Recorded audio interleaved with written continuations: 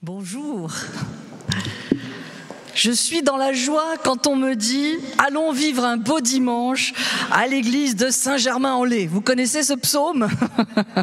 Il est dans ma Bible, hein, moi. Hein. en tout cas, je me réjouis de vivre ce beau temps avec vous autour de la parole et puis surtout d'avoir les yeux fixés sur Jésus ensemble. Et je voudrais commencer par une question. Il existe un personnage dans la Bible dont Jésus a dit qu'il faudrait en faire mention, mémoire, à chaque fois que la bonne nouvelle serait prêchée. De qui est-ce qu'il s'agit? De quel personnage? Allez, spoiler, c'est une femme. Allez, regardez l'image du coup. On va lire la réponse en Marc 14, Matthieu 26. Nous sommes il y a un peu plus de 2000 ans. Une femme verse du parfum. Elle va apparaître. Photo d'époque. Voilà. Elle verse du parfum de grand prix sur la tête de Jésus. Et Jésus dit alors à son propos, je vous le dis en vérité, partout où la bonne nouvelle sera prêchée, dans le monde entier et jusqu'à Saint-Germain-en-Laye, bon ça c'est pas écrit, hein, mais c'est ça que ça veut dire, on racontera en mémoire de cette femme ce qu'elle a fait partout où la bonne nouvelle sera prêchée. Qui a déjà vu dans une église ou entendu dans une prédication faire mémoire d'elle? Comment la garde-t-on en mémoire? Bizarrement, elle a été totalement oubliée. Cette femme admirée par Jésus et qu'on devrait tous admirer. Comment s'appelle-t-elle? Cette femme présentée par Jésus lui-même comme un modèle qui préfigure l'hommage que tous les chrétiens doivent rendre au Christ ressuscité. Quelle est son histoire? Qu'est-elle devenue? On n'en sait rien. Elle est anonyme. Et pourtant, vous le voyez, c'est pas n'importe quelle onction qu'elle réalise, c'est sur la tête de Jésus qu'elle verse le parfum. Ce geste d'onction rappelle celui par lequel les prophètes choisissaient les rois ou par lequel les prêtres étaient choisis pour leur sacerdoce. Symboliquement, cette femme sacre Jésus, roi d'Israël et prophète mais elle est anonyme et elle restera anonyme pour les siècles des siècles. Ainsi, elle est devenue symbolique, emblématique de toutes ces femmes qui ont joué un rôle important dans les textes bibliques de l'Ancien, du Nouveau Testament, mais qui sont tombées dans les oubliettes de l'histoire. Une théologienne catholique, Elisabeth Schlusser-Fioranza, a écrit ce très beau livre en mémoire d'elle, justement en mémoire de cette femme anonyme. Alors je vous propose de nous souvenir de cette femme pour honorer ce que notre Seigneur Jésus avait ordonné. Et je vous propose de le faire en évoquant d'autres femmes que notre Seigneur Jésus a rencontrées, des femmes souvent oubliées ou dont le rôle a été minimisé. On ne va pas relire tous les textes, on en a entendu un, sur Marie-Madeleine, mais on va parler aussi des autres. Et ces femmes nous apprennent des vérités précieuses sur ce que ça veut dire être disciple aujourd'hui et quel regard Jésus porte sur les femmes.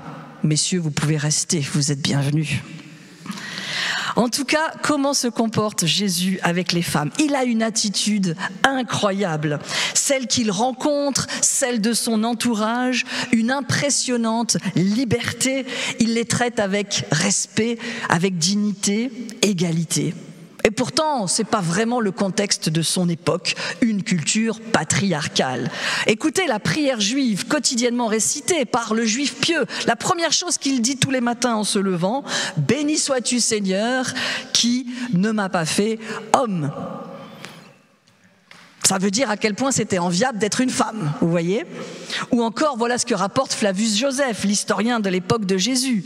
La femme, dit la loi, est inférieure à l'homme en toute chose. Je crois que j'ai pas besoin de répéter, hein, c'est suffisamment clair.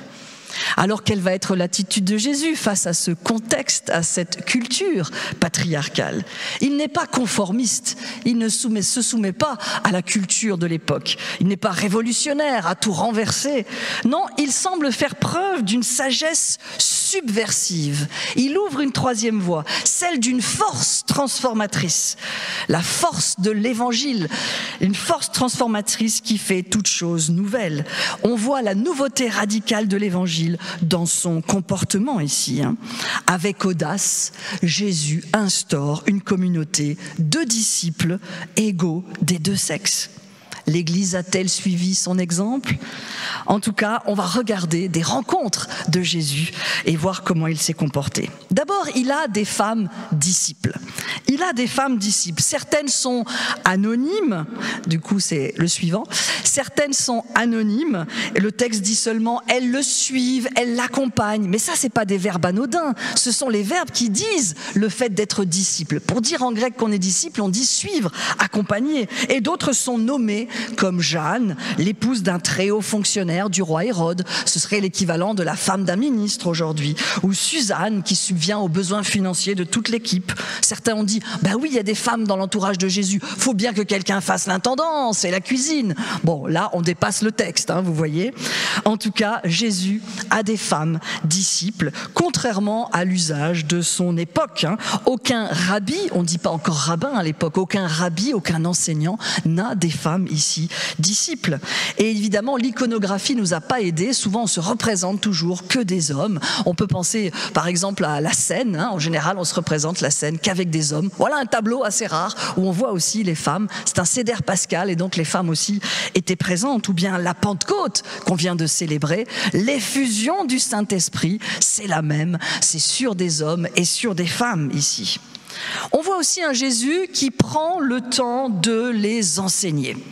Regardez ce qui se passe à Béthanie. Béthanie, c'est 3 kilomètres de Jérusalem. C'est le bed and breakfast de Jésus. Hein. Quand il a fini sa journée à Jérusalem, il va chez ses amis, Marie, Marthe, Lazare, qui sont aussi des disciples.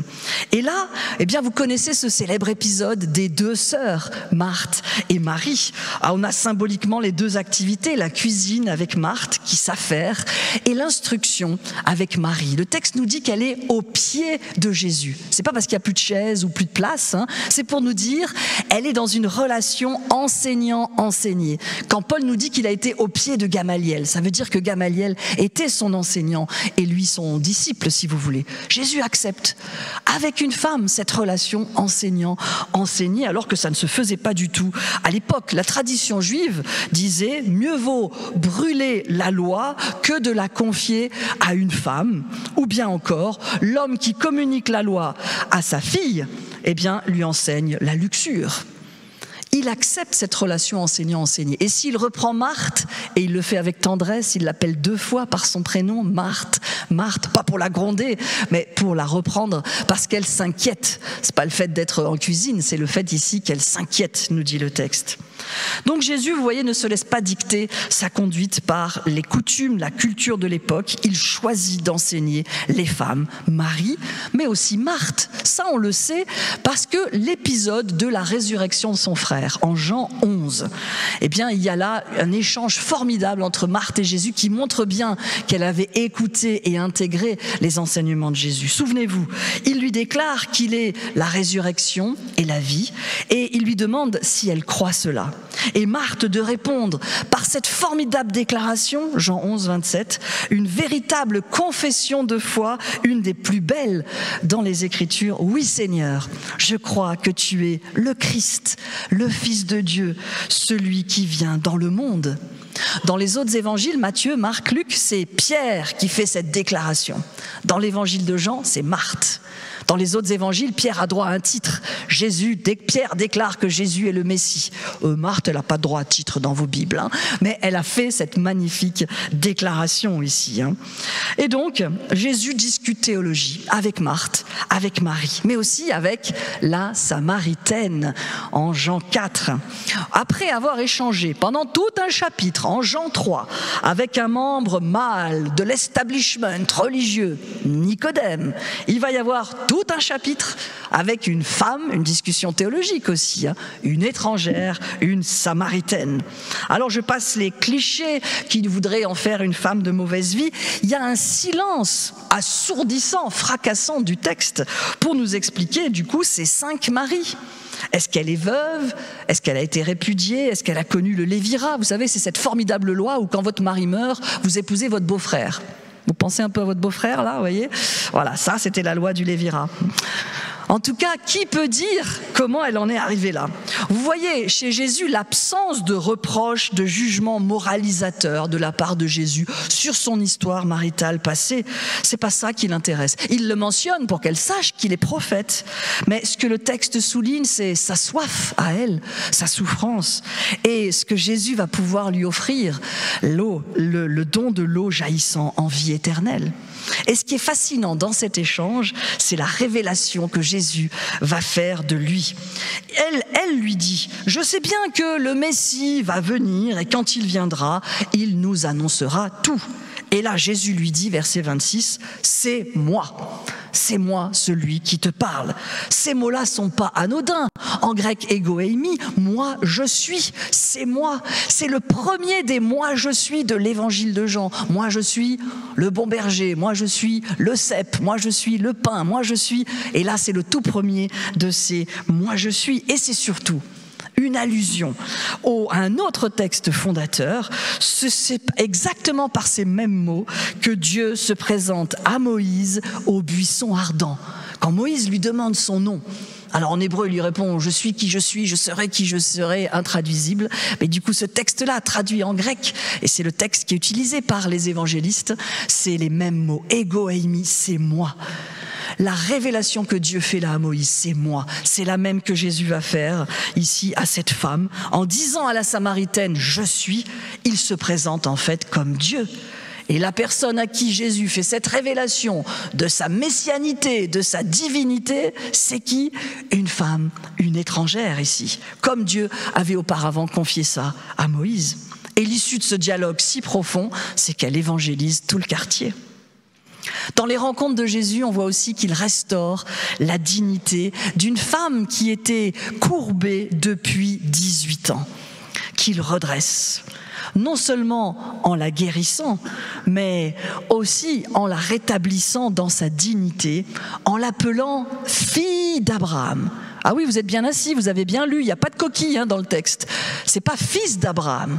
Fils d'Abraham, on connaît, il y en a eu beaucoup dans la Bible. Mais fille au féminin, fille d'Abraham, ça c'est inédit, inouï. Jamais auparavant quelqu'un avant Jésus n'avait employé cette expression au féminin, fille d'Abraham. Et du coup ici, Jésus applique ce titre à une femme défigurée, déformée par l'infirmité. Il la redresse, non seulement dans son infirmité, mais vous voyez dans son indignité. En l'appelant fille d'Abraham, il lui signifie qu'elle est co-héritière des promesses. Les promesses que Dieu avait faites ici à Abraham, elle est co-héritière. Il fait d'elle une femme debout. Et parfois la vie a pu nous fracasser et faire qu'on se, on se sent vraiment à terre. Et on voit le Seigneur qui nous restaure et qui nous appelle et qui nous dit, fille d'Abraham. Jésus, il se laisse toucher par les femmes au sens propre comme au sens figuré. On pense à Marie, donc il y a plusieurs onctions qui nous sont rapportées dans les évangiles. Hein. Tout à l'heure, on avait celle avec une anonyme, et là, à Béthanie, on a aussi l'onction de Marie qui essuie ses pieds à Jésus avec ses cheveux.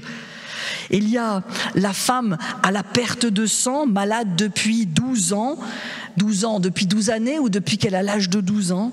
Elle avoue avoir touché le vêtement de Jésus, elle qui a toujours été rejetée, traitée sans ménagement, arnaquée. Et lui, comment va-t-il la traiter? Comment va-t-il réagir?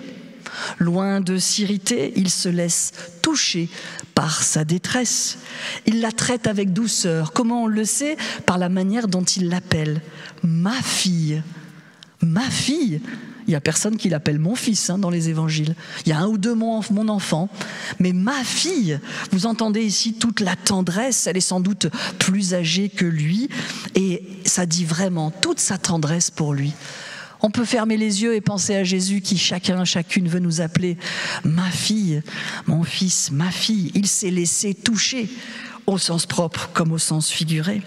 Il se laisse toucher aussi au sens figuré avec la cananéenne, une grecque d'origine syrophénicienne, ça veut dire une païenne.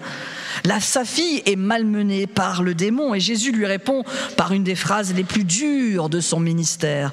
Il ne convient pas de prendre le pain des enfants et de le jeter aux chiens. Oui, ça s'apparente à une insulte. Hein. C'était sans doute un proverbe qui circulait à l'époque. Les chiens, c'était le nom pour les païens ici. Hein. Et en tout cas, c'est énorme. Cette mère ici ose dépasser ce qui s'apparente du coup là quasiment à une insulte et ose cette phrase Même les chiens mangent les miettes qui tombent de la table des maîtres. Alors ici, sans doute Jésus exprime tout haut ce que les disciples pensaient tout bas, vous voyez. Sans doute aussi peut-être qu'elle l'a aidé à changer d'avis, euh, à avancer aussi dans la compréhension de son ministère. En tout cas, eh bien, par ce miracle, la guérison de la fille de cette étrangère, il anticipe ce qui se passera après sa résurrection, lorsque du coup sa victoire sur la croix, eh bien, sera pour toutes, pour tous, juifs et non juifs. Jésus, il est celui qui voit. Il voit les femmes à une époque où elles étaient quasi invisibilisées, invisibles dans la société. Il les observe avec attention. Il pose son regard sur elles. Vous voyez, toujours au moment de l'onction, c'est la suivante, au moment de cette onction, eh bien, il dit à Simon, le pharisien, qui n'avait pas fait un geste d'accueil pour lui, tu vois cette femme? Autre manière de dire, toi, Simon, tu ne l'as pas vu, hein ou en tout cas, tu ne l'as vu qu'au prisme de ta réprobation et de ton mépris. Il prend aussi des femmes en exemple, que ce soit dans des paraboles, comme la veuve qui insiste auprès du juge, ou de vraies femmes, comme l'autre veuve qui met son nécessaire dans l'offrande. Cette femme que nul ne voit, c'est sur elle que son regard s'arrête. Il ne la connaît pas, il l'observe, il l'admire, il l'a vu. De même avec la veuve de Naïn, Jésus voit sa détresse. Dans le regard que Jésus pose sur chacun de nous ici, aucune réprobation, aucun mépris. Épisode suivant que vous connaissez bien, Jésus libère la femme adultère qu'on veut lapider. Vous vous souvenez des détails de cette histoire bien connue? Bon, d'abord, l'absence de l'homme adultère. Il est où celui-là? Ils étaient deux quand même, hein d'accord? Donc c'était bien un piège qu'on voulait tendre à Jésus. Et puis la manière dont Jésus sort de ce piège en dénonçant l'hypocrisie légaliste de l'époque, cette parodie de justice, avec cette phrase devenue proverbiale que celui qui n'a jamais péché jette la première pierre. En parlant de péché à tous les auditeurs, il met sur un pied d'égalité les scribes, les pharisiens et cette femme. C'est à eux tous qu'il parle de péché, là où on aurait eu tendance à la stigmatiser elle seule. Et puis là, le texte nous dit qu'il se met à écrire sur le sol, Faites raconter cette histoire autour de vous des gens qui voilà, connaissent un peu la Bible. Hein. Ils vont tous vous dire, par votre pasteur, hein, parce qu'il connaît bien, mais ils vont tous vous dire, il écrit sur le sable. Alors là, ça fait partie des légendes urbaines. Hein. On s'est mis à inventer une plage là, à cet endroit-là. Il écrit sur le sable. Bon, non, il écrit sur le sol, nous dit le texte. Pourquoi ça compte? Faut toujours suspecter d'intelligence les auteurs bibliques. Pourquoi ça compte? Pourquoi ce détail ici? Parce qu'en fait, il est dans la cour du temple qui était pavée de pierre, comme vous voyez sur euh, la représentation et donc ça veut dire que Jésus écrit sur de la pierre quel est le dernier qui avait écrit sur de la pierre Vous remontez bien, bien, bien, bien, bien avant, au début de votre Ancien Testament, Dieu sur les tables de la loi. Ça fait de Jésus un nouveau Moïse, la loi qui sera gravée dans nos cœurs. Me demandez pas ce qu'il a écrit, le texte le dit pas. Hein, je pourrais faire plein d'hypothèses très savantes, mais là il y a un silence, on respecte le silence du texte. Et puis il va libérer cette femme accusée, la pardonner, lui ouvrant un chemin de nouveauté de vie, même si le texte reste silencieux sur la réception que elle fait de cette grâce. Va et ne pêche plus. Qu'est-ce qu'il lui dit si on explicite? Eh bien, ça veut dire ici, c'est pas une leçon de morale, c'est une promesse. Je t'aime, je te connais, tu, tu as de la valeur, je te fais confiance, je sais que tu peux vivre autrement. Va et ne pêche plus. Last but not least, le texte que nous avons entendu, Marie de Magdala, ou la version francisée Marie-Madeleine. Oubliez Da Vinci Code et tout ça, hein. on va rester sur le texte biblique, d'accord? Alors ici, Marie de Magdala.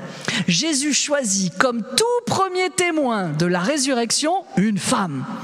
Dans Matthieu, Marc, Luc, elles sont même plusieurs. Là, dans Jean, il, fait le focus sur Marie de Magdala. À une époque où le témoignage des femmes n'est pas reconnu n'est pas valide. Ça compte pas si une femme témoigne. Il va choisir le témoignage d'une femme. Sa vie n'a pas été facile. Marie. Elle a été délivrée de sept démons, ce qui veut dire que avant cette délivrance, elle souffrait beaucoup, torturée par une puissance néfaste, oppressante, qui l'a dépassée. Elle était dépossédée d'elle-même, sans doute exclue de la société. On voit ça très bien dans The Chosen, si certains ont vu ça, le tout premier épisode. Alors ça se regarde avec une Bible hein, pour comparer et tout, mais il y a des bonnes choses aussi, et notamment ce premier épisode sur Marie. En symbolique biblique, le chiffre 7, on nous dit 7 démons, eh bien ça nous dit la plénitude. Son état était vraiment grave, ça nous dit l'ampleur du mal, 7 démons. Mais rien, absolument rien dans tout le Nouveau Testament ne la décrit comme étant une pécheresse, une femme de mauvaise vie. Mais alors d'où on sort cette idée-là? Ben, On va y venir. Après avoir été délivrée, elle suit Jésus. Elle appartient au groupe de celles et ceux qui l'accompagnent, ce qui veut dire qu'elle retrouve une dignité sociale, une identité. Elle fait partie de ces gens qui ont goûté la grâce extraordinaire de remonter, grâce à quelqu'un, de l'ombre de la mort, du non-sens, du néant, pour une vie où l'on éprouve ce que c'est d'être aimé et d'aimer. Ça, c'est ce qui se passe à la conversion quand on rencontre Jésus. Et puis arrive la semaine de Pâques. Ce sont vraiment des jours éprouvants. Marie voit son maître, son Seigneur, l'homme qui l'a libéré, qui a donné sens à sa vie, être arrêté, jugé, condamné et crucifié sur une croix.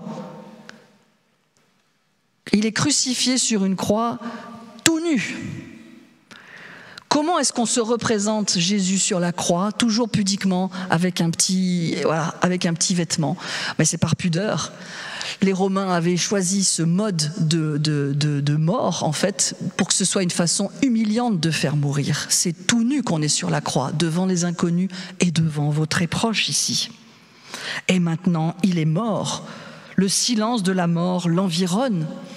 Trouve-t-elle du réconfort auprès des autres femmes mentionnées au pied de la croix?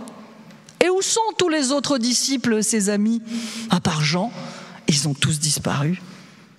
C'est un vendredi terrible, un jour de souffrance profonde, intense, que certains, certaines ont peut-être expérimenté quand la maladie nous terrasse, lorsque l'espoir semble perdu, lorsqu'un être cher est mort, lorsque la mort nous environne. Mais ce vendredi n'est pas la fin de l'histoire. Nous avons relu ce passage ensemble. Après la croix vient le jour de Pâques, le dimanche matin. Le dimanche matin, Marie se rend au tombeau.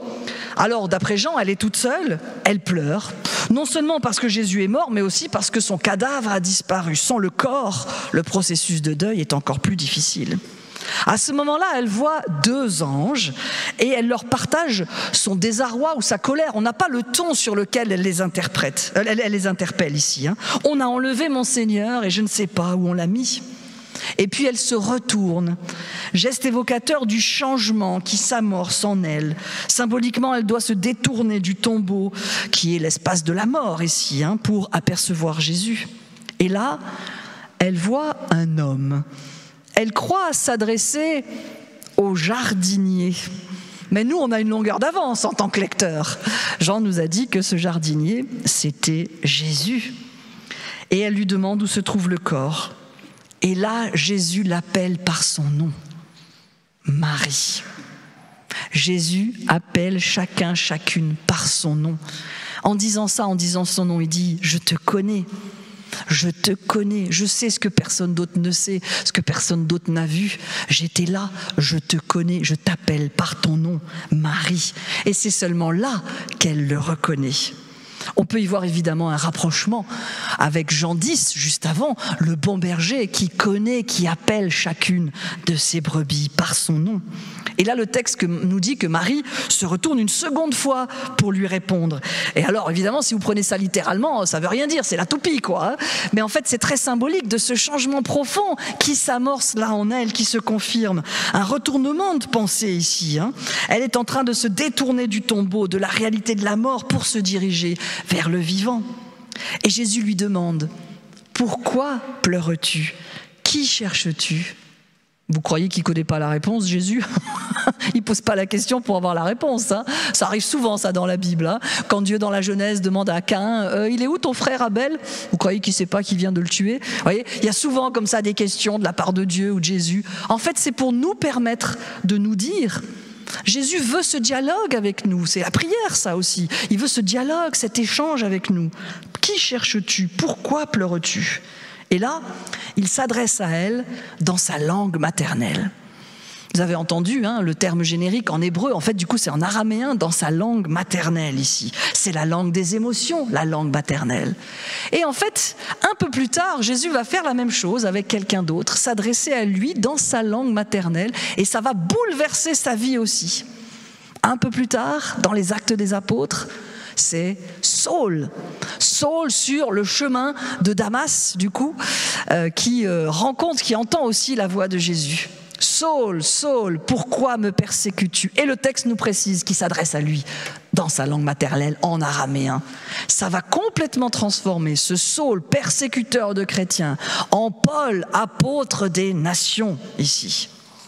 Eh bien, de même que cet échange a bouleversé Paul, Saul, Paul, ça va, la rencontre entre Jésus et Marie va aussi l'orienter vers sa nouvelle mission et transformer sa vie, une mission de la plus haute importance. Le message qu'il lui confie est fondamental. C'est le cœur de la foi chrétienne. Va trouver mes frères et dis-leur que je monte vers mon Père qui est votre Père, vers mon Dieu qui est votre Dieu. C'est la toute première fois que les disciples sont appelés frères. Jésus manifeste désormais notre nouvelle identité en Christ. Nous sommes enfants de Dieu, enfants de Dieu, adoptés par le Père, ce qui fait que nous sommes donnés les uns aux autres comme frères et sœurs ici. C'est à Marie qu'il confie la mission d'annoncer ce message incroyable, que non seulement il est vivant, message de la résurrection, mais aussi de cette toute nouvelle identité d'enfant de Dieu qui nous rend frères et sœurs. C'est le cœur même du christianisme dont elle est porteuse, la résurrection et la fraternité.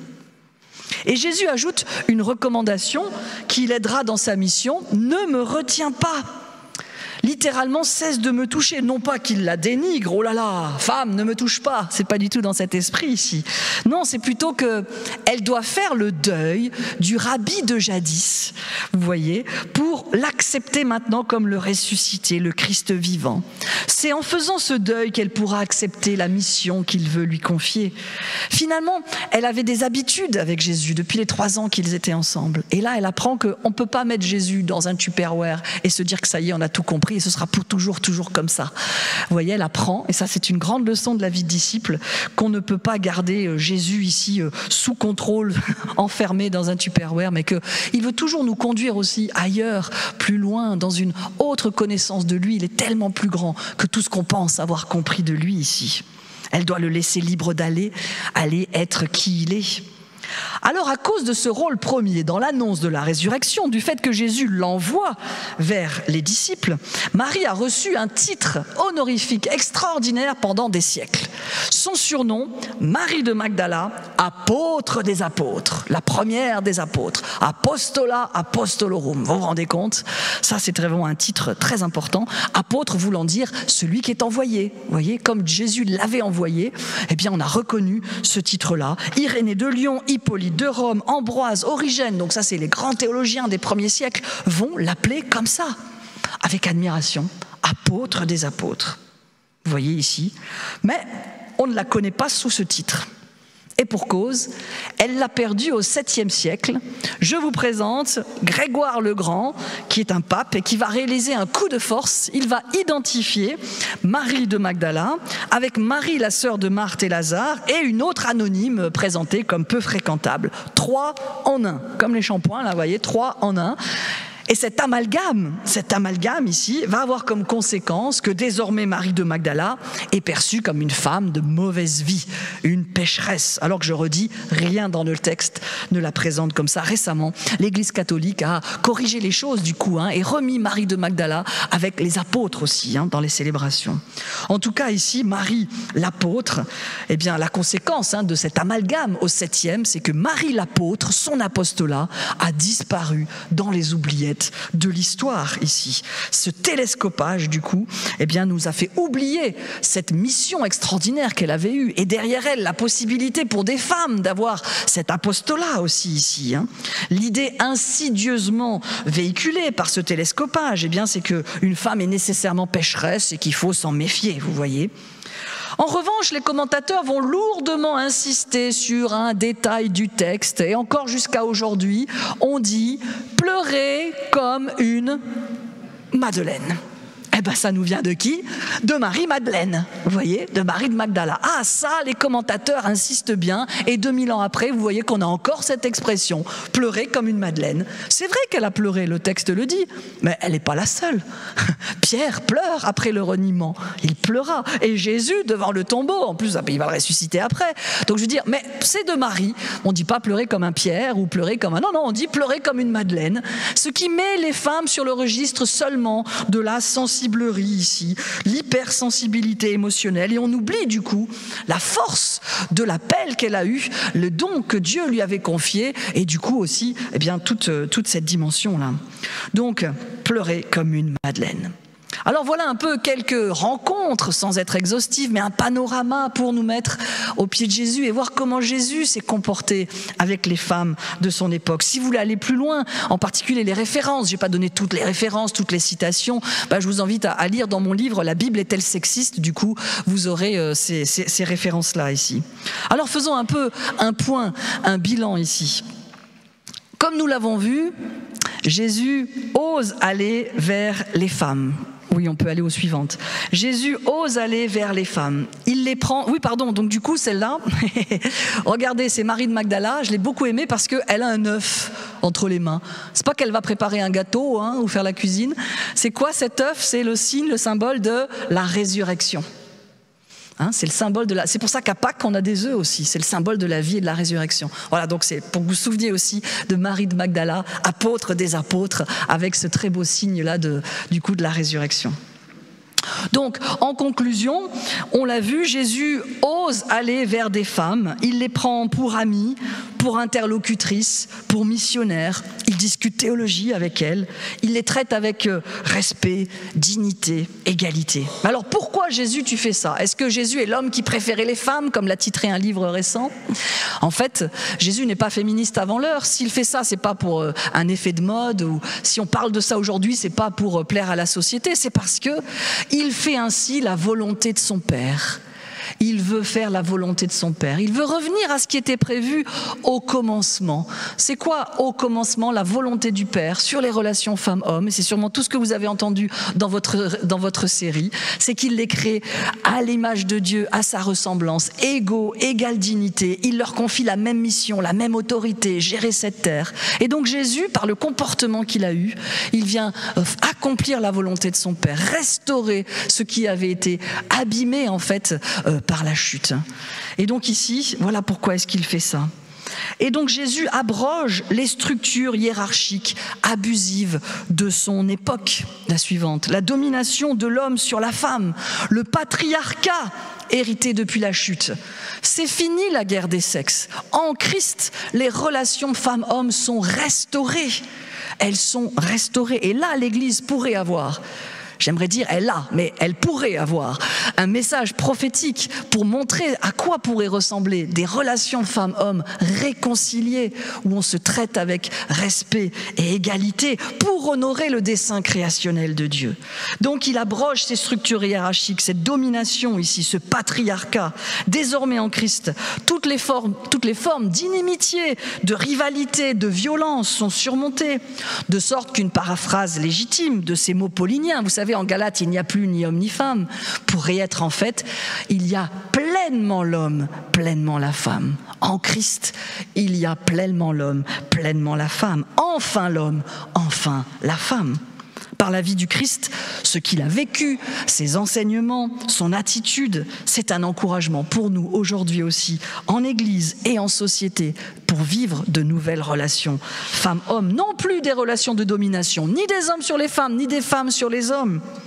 Non, non plus des dominations, de pouvoir, de violence, mais des relations femmes-hommes en vis-à-vis, en égale dignité, comme on le fait autour de la table du Seigneur, en égale dignité, enfant de Dieu, aimé du même Dieu qui offre sa vie pour chacun et pour chacune. Alors ce matin, pour conclure, Dieu nous invite à nous laisser inspirer par ce comportement de Jésus pour accueillir comme il se doit, dans son corps, dans l'Église, les hommes et les femmes, que chacun, chacune se sente considéré, regardé, appelé par son nom, et que ensemble nous puissions témoigner à ce monde de son amour et de l'espérance qui nous anime. Amen.